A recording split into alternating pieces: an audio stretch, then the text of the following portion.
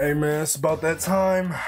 Naruto, you about to get hit. Y'all uh, die-hard Naruto fans, I gotta I gotta talk to y'all. I'm hitting y'all up. Don't worry, One Piece coming soon. Do wait, side note, do I have to finish One Piece to give an honest truth? I think I should. You know, I don't think halfway through is good enough for the One Piece fans. I'll finish One Piece before I give an honest truth. That's a side note though, but it's coming, I guess. It's, it's, it's all about Naruto today, man the Fox Boy. Let's uh let's get into it. As usual, bro, we got a guide for the honest truths. We finally got like a set guide. I always been like, you know, kind of similar, but not a set guide for them. So how we gonna do this? You always gonna give a recap. I'm gonna give y'all where to skip to if y'all don't feel like listening to that always got to start off with good things they did. You know, maybe some honorable mentions if they have some, and also some plot holes if you want to mention them if they have. If I want to mention them if they have some, and then what they did wrong. It's always something the series did wrong, and then my honest truth at the end. Overall, how do I feel about the series? With that being said, let's get into it, man. Naruto Uzumaki. Let's talk about your show, dude. All right, let's give a recap. The show's obviously about Naruto. Um, he has a tail beast within him, and uh, he wants to change the world how it is, make it more peaceful, make everybody accepted in the world, no matter what they have. Because him having that tail beast makes him different. He wants to be a uh, he want to become Hokage to do so. He starts off as a little scary little uh, little kid, grows up, matures, um, and he becomes becomes, you know, less fearful and more courageous. And uh, he fights to keep a friend by his side throughout the series. And then he uh, eventually achieves become a Hokage. That's probably, hey, I'm gonna try to keep the recap short because this is literally about like people who already watched the series. So I don't want to mention it too much unless it has something to do with what they did wrong a lot. Like if you don't understand a certain part of the recap, you know what I mean?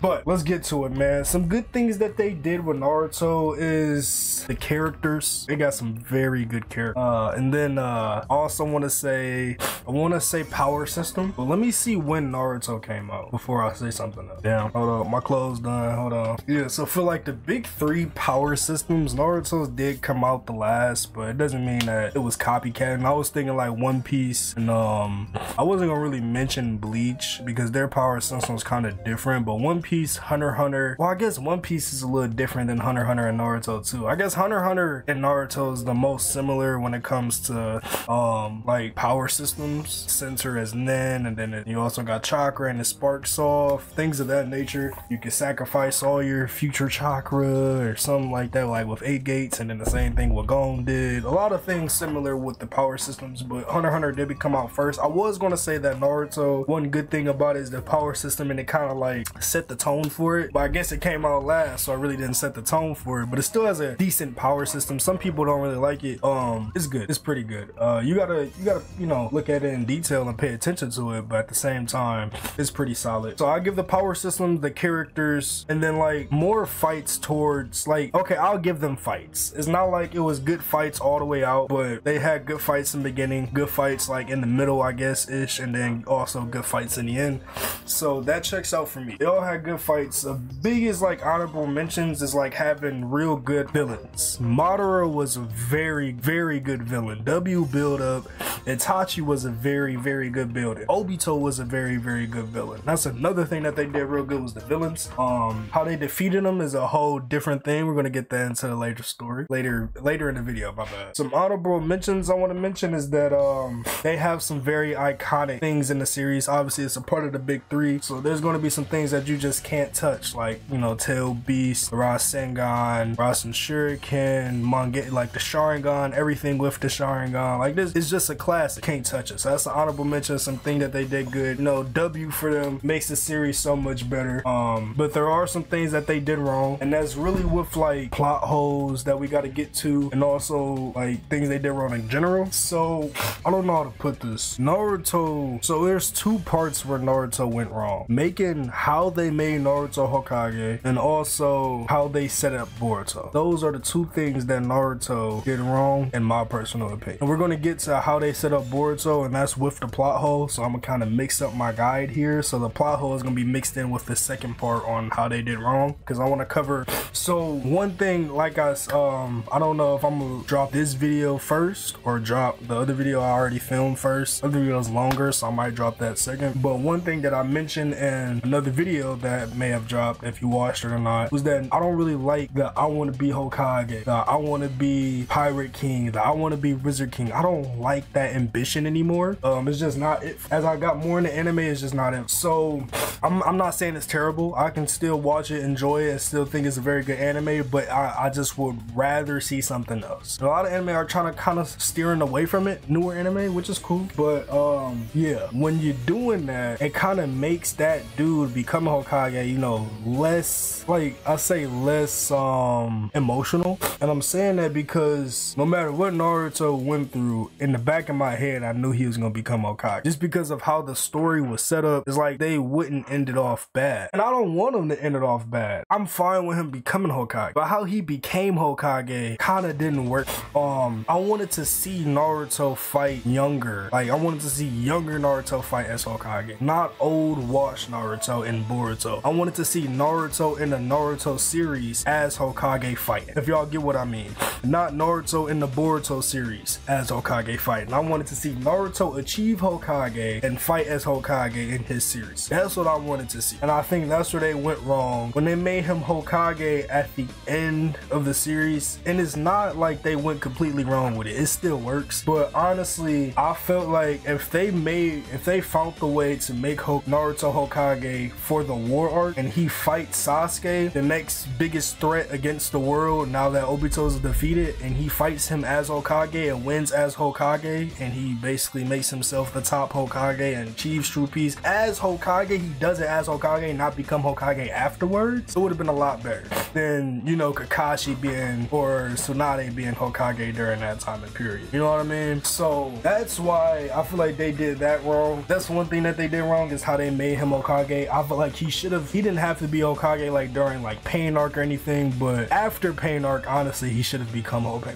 And if you don't want to give it after Pain Arc, maybe we wait a little bit and during the war, you know, maybe Hashirama will be like, hey, make him Hokage or something like that. You know, feel me? Like if they set up a way, and I'm not really thinking of it detail, I could probably come up all the way with Naruto becoming Hokage in the war, but they set up a way for Naruto to become Hokage during the war, mid-war, and he changes the battle and win the battle, achieve true peace, and then that happens, like how it ended. You know, Naruto and Sasuke still making it up, I guess, little lovey-dovey little gay boys, but oh, I gotta cut that out, cut that out. but um if, if, and he achieves two peace, everything with Sasuke goes down, and he's Hokage at, at that moment because he felt like a leader. The whole war arc was showing him as a leader. He should have been Hokage in that moment. I feel like they went wrong. Another thing what they went wrong with is that obviously that plot hole everybody talks about. Black Zetsu, Kaguya coming out of nowhere, all of this, right? So, how do I put this? The ending wasn't as bad as people make it. They made it good enough to set up a new series. Well, they, okay, they didn't really make it good enough. To, they was almost there. And there's two things that they could have done better, which they didn't do because this is obviously what they did wrong, to make that ending better. You don't have to get rid of Kaguya. You don't even have to make Madara the last villain. Black Zetsu should have been more involved along with Obito building up to the war. When Obito was revealed to be Obito and not really Madara, Black Zetsu should have been revealed just as much. You know what I mean? We see, I feel like we see more white Zetsu going around than Black Zetsu. You know, you know what I'm saying? Black Zetsu was doing that deed, causing um the whole Kaguya format. Then it should have been more of Black Zetsu than seeing White Zetsu with, you know, Obito flashbacks and things of that nature. That's honestly how I kind of felt that it should have been. That would have helped it out. On top of that, when Kaguya was introduced, keep everything, right? Keep everything but add specifically, specifically with Kaguya and her lore during the war. You're doing these flashbacks and you're doing this filler whatever mid-fight, but you're not truly expressing the fact that Kaguya is running from someone. We needed that suspense that she's running from someone and she's building this army for a reason. Kaguya barely talk. I like when I think about the flashbacks, I haven't watched Naruto in a while, so maybe she did talk a decent amount.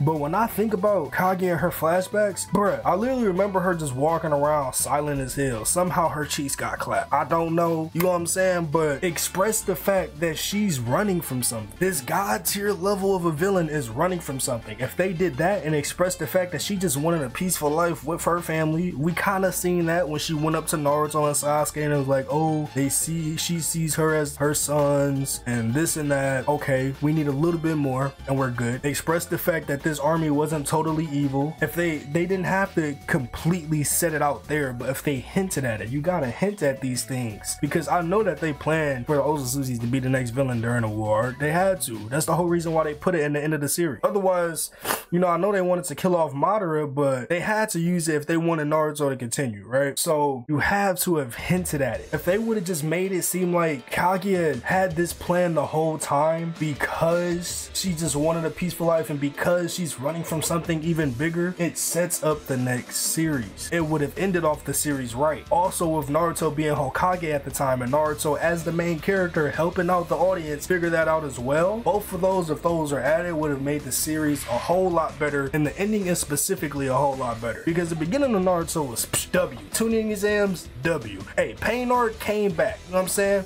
Things with Itachi, W. Or they did it, but they didn't do it. So those are the big two things that they did wrong in my opinion. They should have made Naruto Kage earlier. Not like nobody's stronger than them. um, on top of that, and it's not actually it's not like nobody's stronger than them. It's not like really they listening to anybody else but other Hokages. You know what I'm saying? So that shit he should have been Hokage earlier. And on top of that, they should have did more with Kaguya and Black Zetsu in the ending to make it less of a plot hole. It still would have been a little plot hole there, but or it couldn't have not been. If you really think about it, if you add the right amount, uh, it's not my series. I don't know what to do with it, but I feel like that's what they should have did. But my honest truth, after saying all of that, after looking it all over, after discussing all that, obviously I'm setting the series up to be a 10 out of 10. So if they were to do, if they were have to do those things in Naruto that I've stated earlier, I would give the series 10 out of 10. But since they didn't do that, what should I say? I don't know. I'm gonna give Naruto about I'm gonna give it an 8.8.5 8.5 out of 10 Naruto is still a very good iconic classic W series. This is where it's supposed to be. It's there for a reason. I'm saying? It works out. And overall even with those points taken off for how they ended the series what they did wrong still a very good series. Still high detail. Still in depth on a lot of characters. Um very diverse with like moves and things like that besides Naruto himself. Everybody got good skill sets but Naruto Rasengan. Hey, you know what? Eight. Just because. Just because of that. Eight.